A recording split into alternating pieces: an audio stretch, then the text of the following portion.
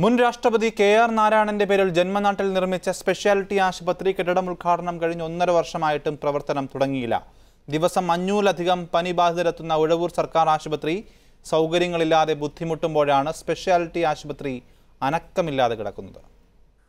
രണ്ടായിരത്തി അഞ്ചിലെ ബജറ്റിലാണ് മുൻ രാഷ്ട്രപതി കെ ആർ നാരായണന്റെ പേരിൽ ജന്മനാട്ടിൽ സൂപ്പർ സ്പെഷ്യാലിറ്റി ആശുപത്രി പ്രഖ്യാപിച്ചത്. കഴിഞ്ഞ വർഷം ഫെബ്രുവരി ഇരുപത്തിമൂന്നിന് അന്നത്തെ മുഖ്യമന്ത്രി പുതിയ കെട്ടിടം ഉദ്ഘാടനം ചെയ്തു.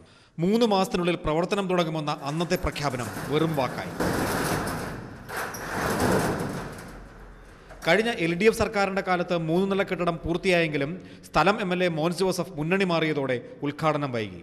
ആദ്യം മൂന്ന് കോടിയുടെ മൂന്ന് നില കെട്ടിടമാണെങ്കിൽ പിന്നീട് പതിനഞ്ച് കോടിയുടെ ഒരു ഇതിന്റെ മുകളിലേക്ക് വീണ്ടും മൂന്ന് നിലയും കൂടെ പണിതു. അത് ആ സമയത്ത് സാങ്കേതികമായി സർക്കാരിൽ നിന്ന് ലഭ്യമാക്കേണ്ടിയിരുന്ന സർട്ടിഫിക്കറ്റുകൾ കരസ്ഥമാക്കുന്നതിൽ വന്ന കാലതാമസങ്ങളാണ്. ഇപ്പോൾ ഈ കെട്ടിടം പണി പൂർത്തിയായതിനു ശേഷം അത്തരം സർട്ടിഫിക്കറ്റുകൾ കരസ്ഥമാക്കുന്നതിന് വേണ്ടി എം എൽ എയുടെ നേതൃത്വത്തിൽ ശ്രമം നടത്തുമ്പോൾ ഉണ്ടായേക്കുന്ന പരാജയം. സാങ്കേതികതയിൽ ആശുപത്രിയുടെ പ്രവർത്തനം വൈകുമ്പോൾ ഈ കാഴ്ച കൂടി. നിലവിലുള്ള ഉഴവൂർ സർക്കാർ ആശുപത്രിയാണ് ഇത്. ചെറിയ എട്ട് മുറികളുള്ള ഇടിഞ്ഞു വീഴാറായ പഴയ കെട്ടിടത്തിലാണ് മുൻ രാഷ്ട്രപതിയുടെ പേരിലുള്ള ആശുപത്രി പന്ത്രണ്ട് വർഷമായി പ്രവർത്തിക്കുന്നത്. അപ്പോഴും ഉമ്മൻചാണ്ടി സർക്കാരിന്റെ അവസാന കാലത്തെ ഉദ്ഘാടന മാമാങ്കത്തിലെ സ്മാരകമായി പുതിയ കെട്ടിടം ഉപയോഗിക്കാതെ കിടക്കുന്നു. മുൻ രാഷ്ട്രപതിയുടെ പേരിൽ അദ്ദേഹത്തിന്റെ ജന്മനാട്ടിൽ ഒരുക്കിയ സൂപ്പർ സ്പെഷ്യാലിറ്റി ആശുപത്രിയുടെ ഗതികേടാണ് ഇത്.